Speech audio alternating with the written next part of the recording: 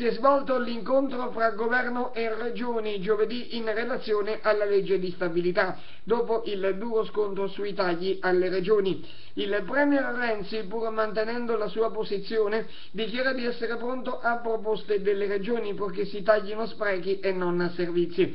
Il Presidente della Conferenza regionale, il Presidente della Regione Piemonte Chiambarino, si dice soddisfatto dell'incontro che apre una fase nuova nei rapporti con il Governo dopo le tensioni dei giorni scorsi.